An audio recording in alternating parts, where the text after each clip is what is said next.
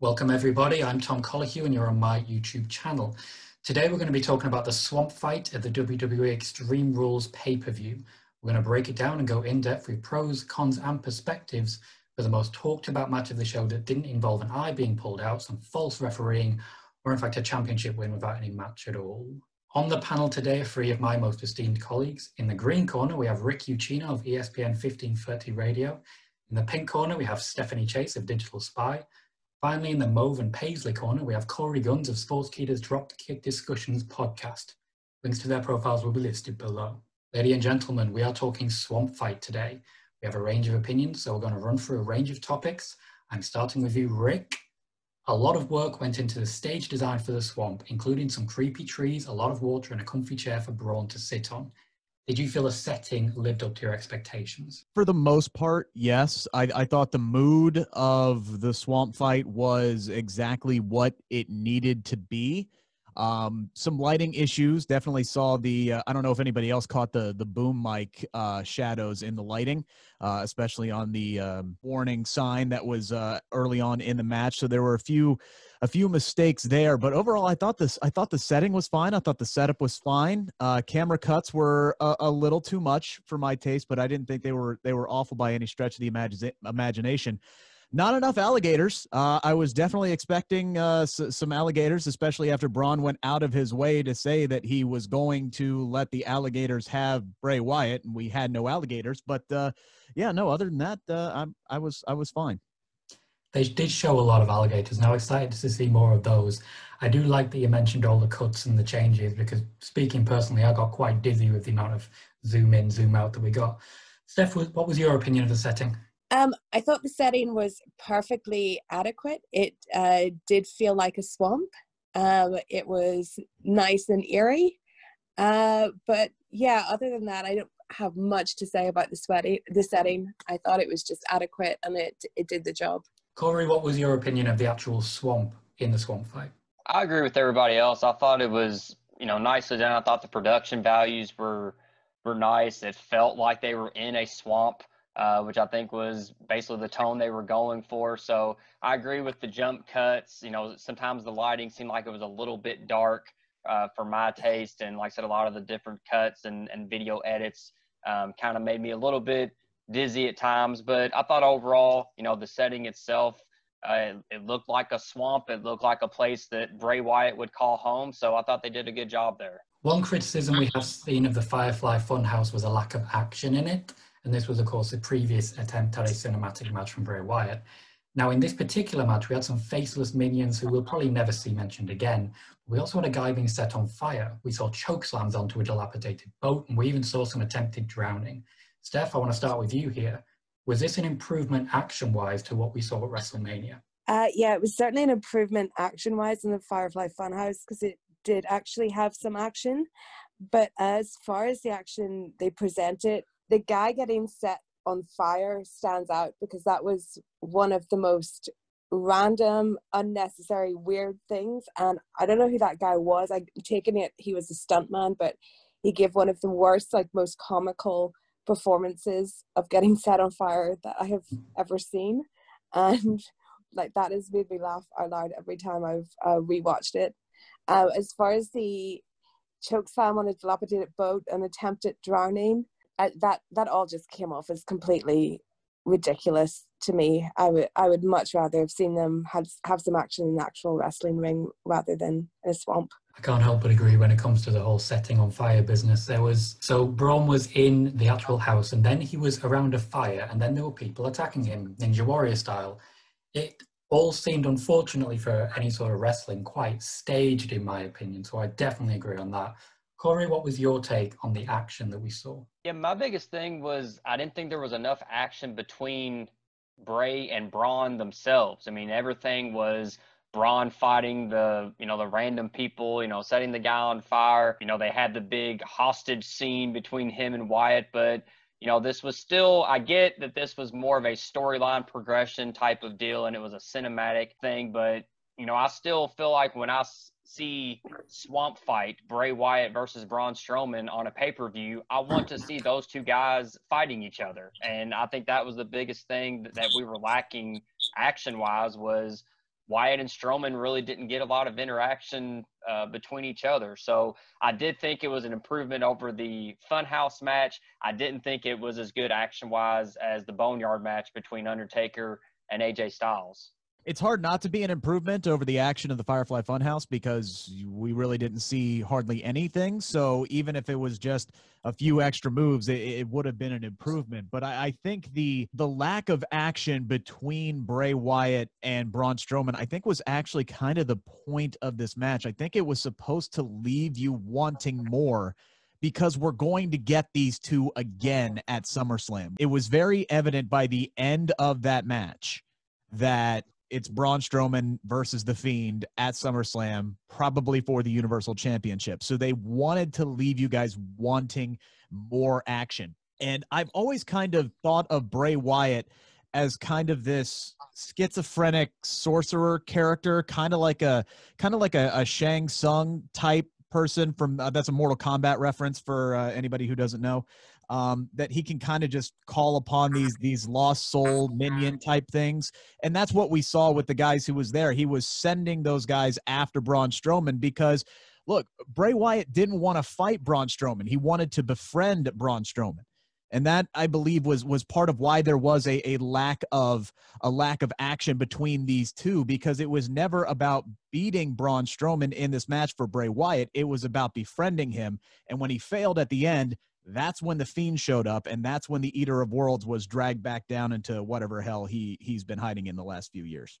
Um i feel i understand what you're saying about how they were trying to make us want more between braun and bray but something like this just absolutely makes me want to see no more bray at all. Um i would much rather if this was like an actual swamp fight that they had had a fight like on the banks of a swamp that went into a swamp, it would have been pretty silly, but I could have accepted it as much. I'm just completely sick of seeing these uh, Bray uh, weird psychological storylines play out where we see two Braun Strowmans, we see an Alexa Bliss.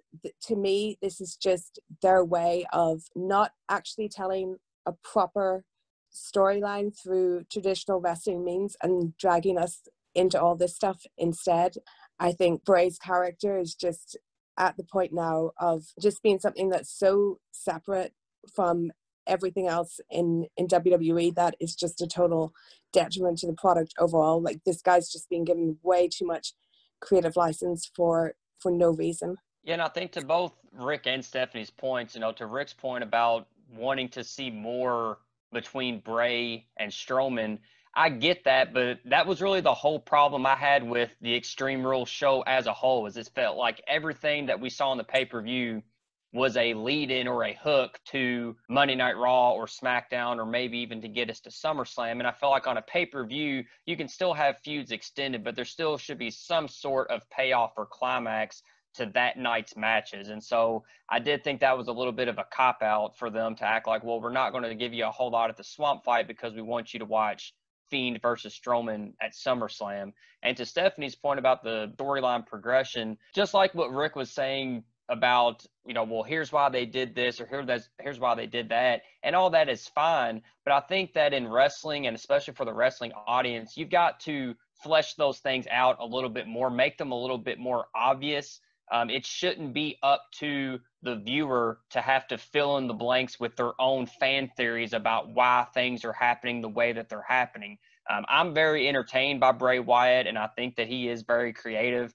Um, and I like that he's getting some license with his characters. But I do think there comes a time where when you're putting storylines together and you're putting matches together, there's got to be some sort of structure and some sort of plan. You have to make that obvious to the audience so that they can follow along what's happening instead of having to kind of fill in the holes and kind of like a you know a movie where there's plot holes and it's kind of just left up to your imagination to fill something in that makes sense. Yeah and look just just real quick i i understand that these these kind of matches aren't for everybody and and, and i'm fine with that. Like steph if you just wanted to see these two big guys beat the hell out of each other that's fine. I i, I completely get that. I'm not gonna i'm not gonna fault the wwe for trying to do something different though. Um, I will say to your point, Korey, yeah, it, it does need to be a little bit more obvious about what's going on because with these Bray Wyatt cinematic matches, if you don't know your history of WWE, of sometimes WCW, of past storylines, of Braun Strowman, of Bray Wyatt, you're not going to know what's going on. And even if you do know all of that, you have to be paying attention the whole time because if you blink, you're going to be lost. So to your point, yes, I can get where you're saying with that, and I'm perfectly fine with people saying that these kind of matches aren't for them. That's not going to stop me from enjoying it any any that much eh, eh, that much less or that much more. Whatever I meant to say there. Uh, I also think that Braun himself as a character, despite having history with Bray, was too weak a character to warrant this type of match in the first place. Uh, even though I wasn't a fan of the Firefly Funhouse, you could get so much out of John Cena, and you could actually get more out of John and Bray just based on their previous feud. This Strowman thing, um, him being in that position, I I don't think he was worthy of the position at all. I even though him and Bray have the history of him being in the Wyatt family, I don't think that's even something that was properly in the fans' minds. Um, so I think if you're gonna do one of these big production matches, something like Undertaker and AJ was perfect for it just based on the strength of the Undertaker character alone. But certainly, I don't think Braun Strowman is someone that should be in this position. And I definitely don't think he has the charisma or even personality to carry it off. There were some rumours of Eric Rowan potentially returning for this match based on some of the pictures that were shown in the build to the match. In the end, that wasn't the case. As cameos go, and I want to start with you, Korey, on this one. What was your reaction to the use of Alexa Bliss in the match? I really liked it. Um, I thought it was clever storytelling to kind of, you know, make Sister Abigail and use that thread tie in between, you know, with the Wyatt family and Bray Wyatt. Again, I do think, like I mentioned before, that it it would take a little bit of creative license on the fans' part to kind of make sense of why Alexa Bliss was there because I think to the casual fan, their first reaction would be, "Oh, are they telling me that Alexa Bliss has been Sister Abigail all along?" When really people that have kind of been following the storyline you know, would be able to kind of remember and tell, oh, well, you know, Braun Strowman, he was in the Wyatt family, and him and uh, Alexa Bliss were a team in that mixed match tournament they, they had on Facebook, and they kind of teased a little bit of romantic chemistry between the two during all that. And that Sister Abigail may be just the kind of the the spiritual being that maybe would lead Braun Strowman be you know to to do certain things or to act a certain way because it's someone that he has a relationship with or you know, however you want to kind of connect those dots. And again, a lot of that is left up to the viewer. But for me personally, because I do know a little bit of that history, I did think that it was kind of a clever way to to put her in there. Um, I I understood where they were going and, and kind of what they were trying to accomplish with that. Again, I'm not sure how uh, successful they were with that with the casual viewer, but for me personally, I thought it was kind of cool to see her uh, involved in, in some way, or at least her, I guess, her spirit or her essence being involved in the match. Yeah, I, I don't think it came over with the casual fan at all just judging by the reaction that was out on on twitter because to your point korey everybody was like wait a minute hold on so is alexa's sister abigail now and then they started jumping to 15 different conclusions from there, uh, which is why I said earlier, yeah, you kind of have to know your history. And and Korey, you you pretty much wrapped up my exact feelings on this. I I loved it. I thought it was a brilliant callback um, because even if you didn't pay attention to the mix match challenge that was on Facebook, they did have you know a few on-screen moments. I remember one specifically where you know Braun Strowman is standing out on the side of the ring, and Alexa Bliss gets knocked off of the apron, and he catches her, and then they look like they're going to go in for a kiss for like half a second, and they they they pulled back, and so there was always that kind of romantic tension between these two when they've been on. So I thought that was a, a brilliant way for for Bray to try to manipulate Braun to get him to come over to his side, like, oh hey here's Alexa Bliss. Here's this woman that you that you've always wanted that you're pining after. So you come with me and she's yours. I, I thought that was a, a brilliant little callback. But yeah, the casual fans got lost on that one. Um, I agree with both uh, Rick and Korey that it definitely lost the casual fans. It was cool in a way, but at the same time, since I don't kind of like the whole premise that we're going with with um, what Bray's creating in in other wrestlers' heads a minute. Um, it was a bit of a total like jump the shark moment for me. Um, but I think the only way they could rectify it for me is if we get some footage up from the uh, Forgotten Hacker on SmackDown that shows like Bray maybe paying Alexa to make a little video that he can project in order to um, get the advantage on Braun and distract him. If they do something like that, then I'll totally forgive them everything. Well, that would definitely be a turn up for the books, I tell you that. And that's an interesting way to at least make the SmackDown Hacker storyline relevant again, because we haven't seen it for a while, and Mustafa Ali, of course, not on SmackDown anymore. I did want to ask particularly you, Steph. I'll start with you, but still ask everyone. As our resident AEW expert, how much influence do you feel Matt Hardy had on this match type, considering the work he did in Impact, then with Bray Wyatt, and now in AEW? Yeah, I think without without Matt Hardy, we wouldn't be getting all of this. Um, I think what happened is Matt Hardy did something very good originally that got a lot of buzz, that was very creative, that was very out of the box. And now WWE have ran it into the ground, really. I think, yeah, we can all bring this back to Matt Hardy initially. Um, but I think that really the way I felt about Matt originally is that he was doing something very cool and different and psychological. The idea of him having kind of a breakdown with um, his personality and his character change. And I think it's now been turned into something completely different that's almost like a parody of how it started, even though I guess to some people what Matt Hardy was doing was a bit of a parody anyway. Yeah, I think that you know you can't understate Matt Hardy being kind of the father of all this cinematic universe stuff on WWE. At least being able to push the idea to the forefront enough that the WWE tried it, um, and now they're being a little bit more open to the idea of it. Uh, but to me, I think that these definitely more so have the fingerprints to me of Bruce Pritchard on them.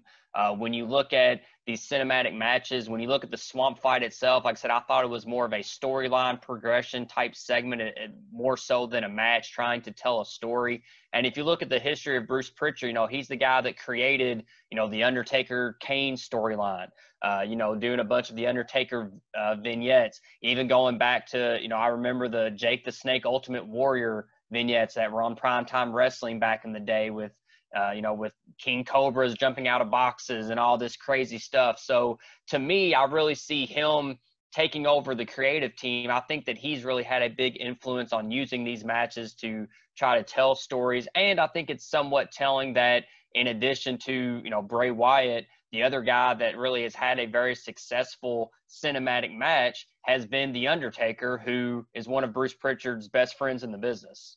Yeah, I'm not sure how much uh, influence Bruce Pritchard has on uh, the the Bray Wyatt stuff. I from everything that that I've read and I that I've understood, and I, I could be completely wrong on this because I'm I'm not an insider. I'm just going based off of what I've read. Is that a lot of this is is is Bray Wyatt's brainchild basically that he had a lot of full creative control and i think you really saw that uh, in the swamp fight uh, especially. Uh, but going back to the original question yeah I, I, agree with you too there's absolutely no question that, uh, that that matt hardy deserves a lot of the credit uh, and a lot of the influence on this. Even even just you know as much as the little dilapidated boat but i mean you know you, you bring in uh, WWE brings in a guy like Jeremy Borash who worked uh, on the uh, Ultimate Deletion match, and I'm I know he had a hand in the Boneyard match as well. I'd be stunned if he didn't have a hand in, in this one as well. And and Matt Hardy, you know, he he worked closely with Bray Wyatt. We know they the the the Deleters of Worlds Tag Team. They were tag team champions at one point. These are two of the most creative minds in, in wrestling, in Bray Wyatt and Matt Hardy. And uh, yeah, you, you have to recognize the influence that Matt Hardy had on these cinematic matches. Is WWE close to jumping the shark with them? Yes, they are doing them a little too frequently for me personally. I, I think they need to be special and they're not making them feel special. Heck, we have another one this coming Friday on SmackDown for crying out loud. So um, they, they need to lighten it up with that uh, for sure. Yeah, and just to be clear on my previous point about Bruce Pritchard, I don't think that it's Pritchard writing the creative for Bray necessarily. I just think that because of his penchant for storytelling and his history as a producer, that he's using these cinematic matches and pushing them to the forefront as a way to progress storylines maybe a little bit better and in a little more little bit more entertaining way but to rick's point i also think that they are very close to the line of already overexposing them uh, already i think matt really showed wwe that they could give a little bit more creative license to a wrestler and a character and that it would really get over with fans and can create a lot of buzz on social media and stuff like that and i think that's one of the things they're trying to do with how outlandish these matches are. And what really just disappoints me about that is I wish they would put this creative energy that they ha- seem to have and these ideas and giving creative licenses. I wish they would actually give that to more wrestlers than just Bray Wyatt. I can't help but think, why are we watching SmackDown and seeing um, women being subjected to doing karaoke segments and where it seems that they have no characters and no developments, yet Bray Wyatt's absolutely able to run wild with whatever is in his imagination and subject us all to it when they can't just do basic storylines um, for a lot of their talent. And and Steph, just just real quick to touch on on something you said. Um, while yes, I will agree with you that the karaoke segment for the women was absolute garbage, and even WWE recognized that at Extreme Rules when uh, Bray Wyatt did that little thing with the uh, Firefly Funhouse. Uh, I'll say this: the the women's division as a whole is doing a lot better than the uh, men's division because there are so many goofy storylines and stipulations going on with the men right now. The women, it is very meat and potatoes. It is very basic. It is a bunch of kick ass ladies who just want to go out and prove that they're the best and fight over championships. And that's really working for them right now. Um, although, yeah, I used the example of the women's karaoke segment that I used it because it's a particularly bad example of something that wrestlers were recently put through. But um, that's not me saying that the women's division isn't getting uh, as good or if not better uh, attention and, and storylines than the men because the women are doing a lot better. It's just I feel like every time we have a wrestler leave WWE, whether it be the Good Brothers or Luke Harper, they all have the same story of having these ideas that they try and pitch to Vince and they just don't get listened to, or he uses their idea for something else. And it just really pains me then to see Bray Wyatt being the person that is seems to be allowed to do whatever he wants when other people seem to have great ideas that are just outright dismissed for some reason Bray is the only one who is allowed to have the freedom of expression. I'm going to leave it there because I do feel we would then be heading into a different topic, which is no less worth discussing. Dude, I just spent two hours writing a Naomi piece because of that stupid segment. yeah, so at least if, if there's at least one good thing to take from it, people are realizing that they're going to need to essentially take action themselves here and try and make these things happen. You, you do all raise good points. Bray Wyatt has been essentially writing his own stuff no one else gets that opportunity. I want to come to Korey now. Critical reception for the match has been mixed to say the least. What didn't work for you personally in the swamp fight? I think the biggest thing for me that didn't work, you know, really was just the presentation of is this a match or is this just a vignette? You know, yeah, some of the action was campy, some of the fighting scenes, you know, with, with the extras was kind of campy and all that. But I give credit to the WWE for trying something different and trying something new, especially in this COVID 19 era. And so I was still very entertained by it. I thought it would have been an outstanding conclusion to an episode of SmackDown you know, or maybe uh, you know one of the lead-in episodes into SummerSlam. You know, I, I would have seen it more in that vein as opposed to the main event of a pay-per-view. So for me, it wasn't necessarily one thing or the other, or just you know the the presentation uh, in and of itself. It's just the idea of that was the main event of a Extreme Rules pay-per-view, and I really just felt like it was just a very long vignette to progress the storyline to get us to the Fiend reemerging, and that's really the match that we're all here to see, which is the Fiend and Braun Strowman. Yeah, I've been very vocal that uh, you know both on Twitter, on my radio show, and I'll, I'll say it right now. I, I I loved pretty much everything about the swamp fight. It, it's very hard for me to pick anything that didn't that didn't work um, because I, I looked at this match extremely differently. I, I didn't look at it as a match. I went into it thinking we were going to get something similar to what we got at, at WrestleMania. And if you go back to the Firefly Funhouse match, I mean, that was just one big, long piece of psychological warfare that yeah, yeah, we don't know if that really took place in person. We don't know if that took place uh, in, in, somebody's mind. Again, I look at Bray Wyatt as somebody who has mystical power, so I just dispel all belief on this one and just and just dive right in. To me, the the only thing that I can sit here and say I have an issue with is how do you bring Braun Strowman back now to SmackDown? Like the last time we saw him, he literally drowned in a lake. So I, I'm not sure, you know, if we start off SmackDown with the 10 bell salute or what. Um, I, it just spitballing here, I'd say, you know, just dump, have somebody throw Braun Strowman out of a van just covered in water and, and spitting up swamp muck.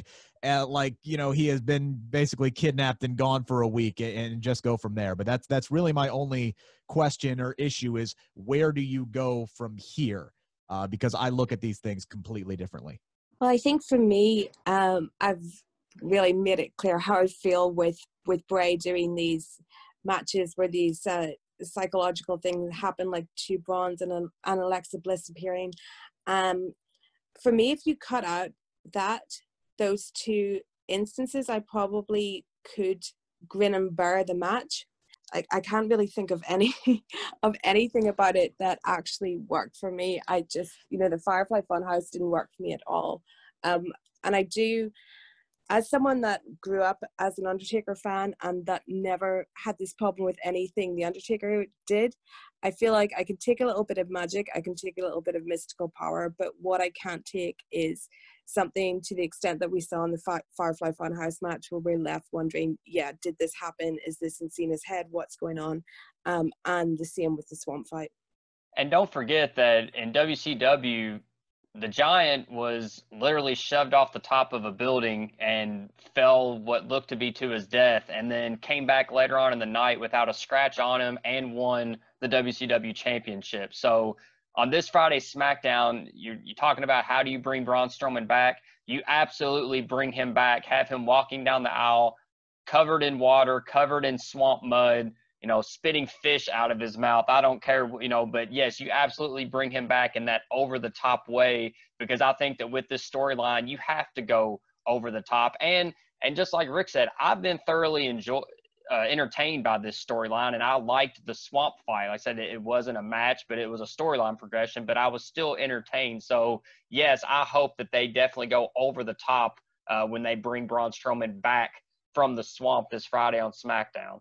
I, I personally don't expect Braun to be emerging in SmackDown um, covered in swamp muck or anything like that. I think that Braun is probably going to just walk out and cut another promo on Bray, and we're just going to move along the storyline, and the exact events of the swamp match won't actually mean anything at all. I think it's it will be interesting to see because obviously the Firefly Funhouse um, Cena didn't come back, so we didn't get to see how they moved on from that. We didn't really get to see how they moved on from the Boneyard match either, but I don't, as far as what they do in SmackDown, I don't really have any faith in them um, turning Braun now into some kind of swamp monster that went through this match at the weekend. To be fair, when it came to the Boneyard match, we did have AJ Styles literally turn up and say, I got buried alive, so what? Aleister Black and Rey Mysterio were thrown off the roof of a building and they wrestled the next night. I do half expect, I, I did expect Rey Mysterio to just turn up on Raw. I really dispute that whole them being thrown off the roof thing because they showed so many aerial shots and it was clear to see that it wasn't the roof, you know, that there yeah. was a bit right below it. So when I was watching that la- match live, like I didn't think for a second that they'd been thrown off the roof. I thought they'd just been thrown onto a lower level that was just slightly inconvenient, but in no way life threatening. It doesn't. Uh, it doesn't help it that you could hear them landing on the big cushion as well. It also yeah. doesn't help that uh, uh, Baron Corbin wasn't arrested for murder immediately. So there's that part of it too. Yeah, the amount of times we've seen the police arrive to arrest someone, especially back in the Austin days and Baron Corbin was just fine. I hate police in wrestling. just because I think like if that they should then be called like 90% of the time. In the universe in my head that WWE exists in, I find that there shouldn't be police because in my head these guys are basically signing some kind of some kind of contract to say that whatever happens happens like this is our job so i'd say no police interference and it's like when i was a child i also thought they were under contract to only settle any kind of disputes on a monday night and that's why they didn't go to each other's homes just to attack them on a wednesday I mean, when you can put the custody of a child on the line in a ladder match, you're pretty much throwing all law enforcement policies out the window anyway, right? Yeah, that's, that's where you went. That's where you. We just had an eye for an eye match, man. we are going to wrap it up there, and I just want to thank everyone for joining us. For more from our guests, you can check out Stephanie Chase's YouTube channel, where she interviews big names such as Bayley, Carmella, and Corey Graves, and her personal favorite, Jay White. You can check out Ricky Ucchino's interview with Nikki Cross and his expert panel articles on Sportskeeda, where he recently asked what should be next for the FTW Championship in AEW. And as with every week, you can hear Korey and myself on Sportskeeda's weekly news podcast. I've been Tom Colohue, playing host for a change. Be sure to subscribe for more content like this, and thank you for joining us all today.